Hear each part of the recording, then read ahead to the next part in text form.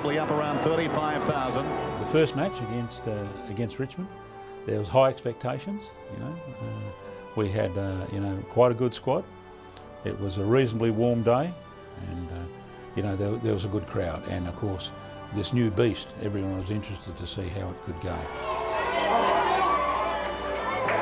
But running out in the ground and you've got your banner and yeah, it was a decent cheer and you could sense that the blokes could now really understand we were a team and you had a home ground.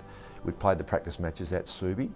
Um, so there was a sense of and a feeling of belonging. It's the start of a piece of history for the West Coast Eagles. But first actual home and away game, I think it's, it's, it, you get butterflies and, and we had butterflies, but we had a bigger butterfly because we're actually uh, our first inaugural team. This is our first time in, in, the, in the VFL, so, so we were doubly nervous. Breaks out of trouble, gives a wide hand pass, beautiful football Narkle. This day I actually went out there and, and, and it just, I, I, my heart started thumping quicker because there was a big crowd there, mate, and, and a big roar, so, and, and that sort of made me really want to play well that day.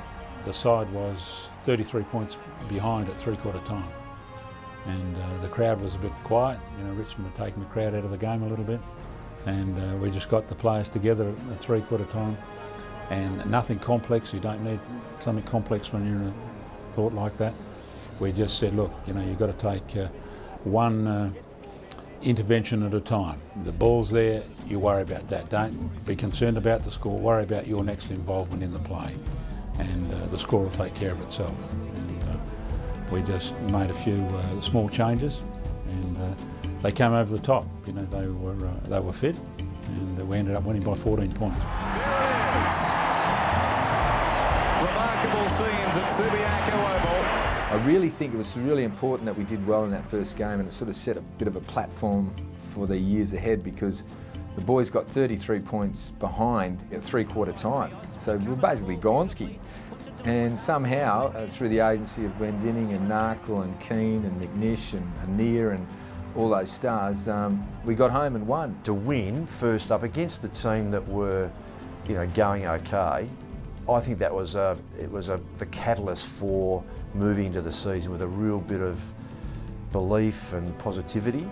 Yeah, and that was probably the proudest moment of, of my career, as in, you know, the first time with the West Coast Eagles. And I think, uh, you know, the culture now, we led a pathway from that start. The depth of the West Coast Eagles